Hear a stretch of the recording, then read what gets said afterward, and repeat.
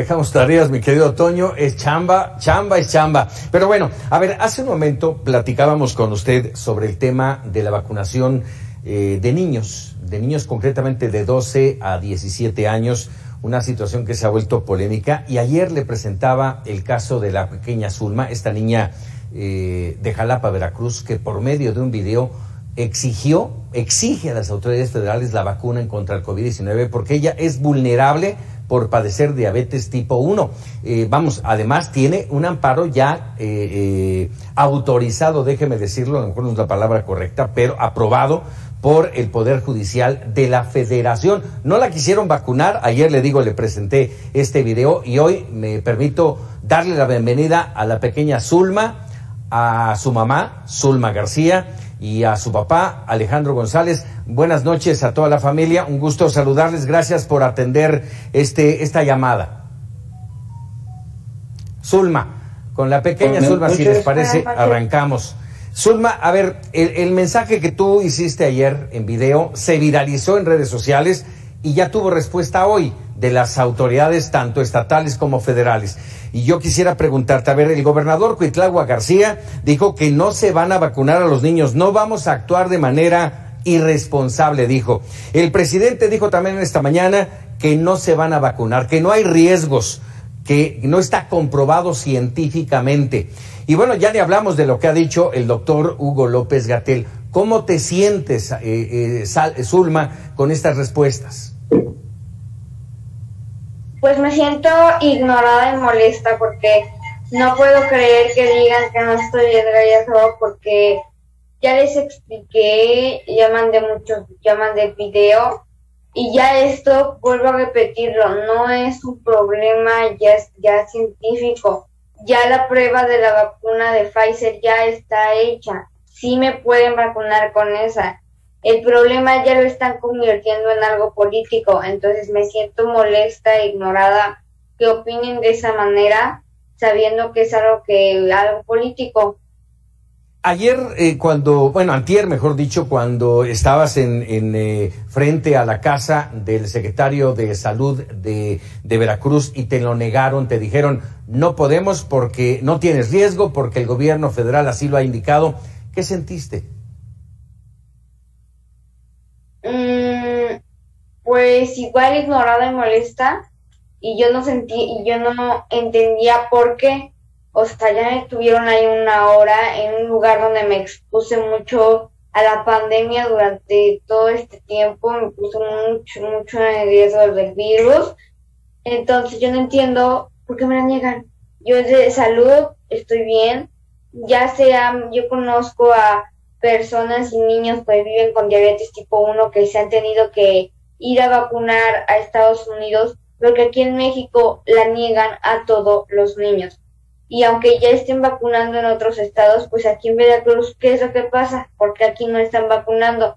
Y yo lo único que estoy pidiendo es que ejerzan uno de mis derechos que tengo desde que nazco. Entonces no entiendo por qué nos tratan así y cómo, y cómo nos tratan si fuéramos enemigos.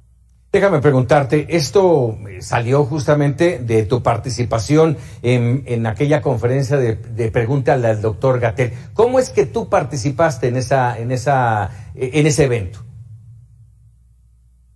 Mm, pues yo estaba interesada, mis papás estábamos estaban interesados y vimos la publicación, entonces mandamos mi video con mi pregunta y afortunadamente en lo que consistía que si tenía mayor riesgo de complicarme por COVID al tener diabetes tipo 1. Y el doctor eh, le hizo interesante y gracias a Dios llegamos a aparecer en el programa. Entonces, pues ahora lo utilizo de respaldo para ver, para que vean las autoridades que sí tengo un, un peligro mayor al contagiarme de COVID. Alejandro González Sánchez, gracias por, por regalarnos estos minutos. A ver, te quisiera yo preguntar, eh, tengo entendido que eres biólogo, pero más allá de eso, como padre de familia, ¿sientes que eh, tu hija está en riesgo? Claro que está en riesgo, por supuesto, y, el, y, y creo que no han entendido de que el riesgo no solo es de que vaya a la escuela de manera presencial, El riesgo lo tiene aquí con nosotros también, porque la vacuna no garantiza que uno no pueda contagiar a otras personas. O sea, yo puedo estar contagiado, puedo ser asintomático y contagiarla a ella. Aquí la familia, que somos cuatro, eh, su mamá, su hermano y yo, estamos vacunados con la Pfizer, pero podemos traerle el virus. Entonces, no, no creo que no sería conveniente que aquí anduviéramos con, con cubrebocas los cuatro, porque ella es la única que no está vacunada y que de los cuatro es la que está en mayor riesgo por una conmovilidad. Los otros tres pues, no estamos en, en, ese, en esa situación. Y, evidentemente, por, lo, por como nos contestas, Alejandro, te siento por un lado preocupado y por el otro lado molesto. Claro que estoy molesto. Yo como biólogo fui educado en base a, a cuestión, la cuestión científica. Y la cuestión científica aquí la marca la COFEPRIS. La COFEPRIS analiza estudios que le hayan mandado las farmacéuticas y emite las recomendaciones. La OMS, obvio que de la misma manera. Tanto la OMS como la COFEPRIS han dicho, la vacuna se puede aplicar a niños mayores de 12 años y se debe de aplicar a, niños con comorbilidades. O sea, ¿qué espera el gobierno de Veracruz? O sea, ¿qué tipo de estudios necesita? ¿Qué tipo de ciencia necesita el presidente? Yo creo que no están, no lo están, no los están asesorando bien o no está escuchando a los asesores. Eh, afortunadamente hace un par de horas el, el doctor Gatel dijo que es muy probable ya que vacunen a, los niños con, con, comorbilidades. Pues qué bueno, pero esperemos que no pase mucho tiempo porque cada día es una situación de riesgo. O sea, nosotros salimos a trabajar este, y pues podemos traerle el virus. O sea, así de sencillo. O sea, este, vaya, no hay, no hay de otra. Y por eso es que me molesta. Y me molesta más que piensen que detrás de nosotros hay, hay, farmacéuticas. O sea, por favor, o sea, eh, no puede ser. O sea, ¿quién hizo el, el, amparo? Lo hizo mi esposa, que, es abogada. ¿Quién hizo la investigación documental? La hizo, la hizo mi hijo que es estudiante de medicina, yo que soy biólogo, o sea, lo hicimos nosotros aquí. Oye, y déjame, déjame decirte, Alejandro, ah, y bueno, a la familia, por supuesto, eh, eh, que afortunadamente cuentan con un biólogo y cuentan con una abogada. ¿Qué podrán hacer las familias que no cuentan? Quisiera preguntarle justamente a Zulma García Hernández, abogada, eh, vamos, esto se inició el proceso y la situación no ha sido del todo positiva. Gracias, gracias, Zulma. Muy buenas noches. Déjame preguntarte, ¿qué sigue? Ya tienen el amparo firmado y sellado por el Poder Judicial de la Federación. ¿Qué sigue? Desafortunadamente tenemos la suspensión de plano eh, el día lunes para que vacunaran a Zulma pero en lugar de que hicieran el cumplimiento a la autoridad en las 24 horas, interpuso un recurso de queja la Secretaría de Salud de Veracruz. Entonces ahora se tiene que llevar a cabo eh, la ventilación, digamos, el, curso del recurso de queja. Yo espero que no dé lugar y que hoy, hoy metí yo algunas argumentaciones, eh, pues de, de, su recurso nos dimos cuenta que absolutamente no tocaron nada de la condición. Ah, caray, tuvimos ahí. Cuando empezó la pandemia, que los niños no se morían este, si no eran las personas mayores, eh, metieron de tiempo, modo y lugar distintos, pero nada que ver con nuestra demanda.